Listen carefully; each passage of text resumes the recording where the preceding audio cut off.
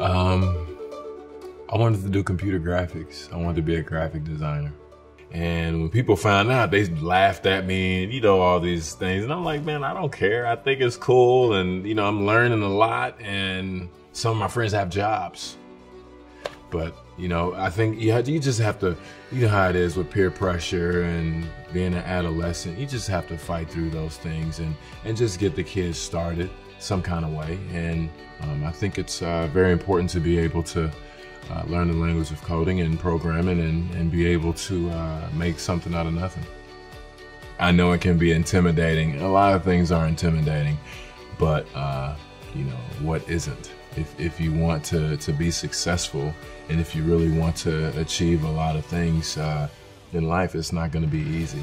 And um, it's it's okay to be smart. You know, um, I always struggle with that growing up, and I just want kids to know that it's okay to be able to speak intelligently, uh, to read and write correctly, because you're gonna be grown and you're gonna need a job, and things are gonna, you know, you're gonna have to call on the skills that you built as a kid. So it's okay to be, you know, who you are and be smart.